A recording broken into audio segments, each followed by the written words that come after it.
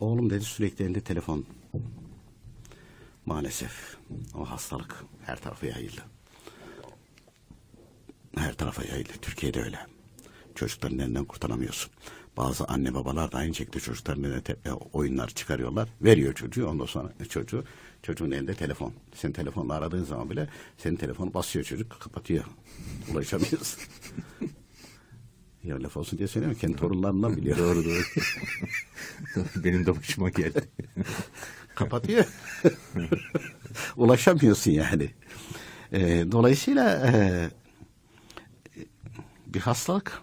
Peki ne yapılabilir? Ee, ya burada anne babalara e, çok büyük iş düşüyor. Ya işin garip tarafı sokakta gidiyor. Dün geliyor falan serviste. Baktım. İşte e, lise son da üniversiteye gidiyor.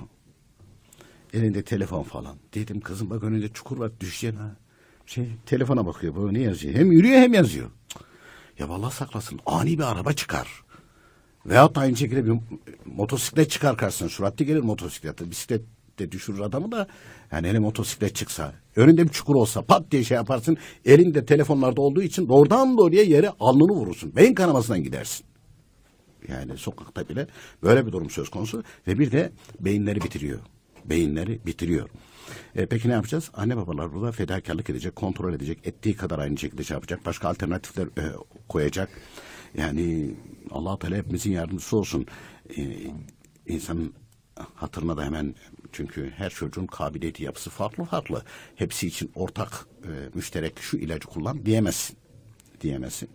E, ama e, hani çocukların bazı ihtiyaçlarını temin konusunda, verme konusunda e, kısıtlamalara giderek günde işte şu kadar kitap okuyacağım buna tahammül etmezseniz telefonda yok, televizyonda yok hepsini aynı şekilde kestirip atmalı.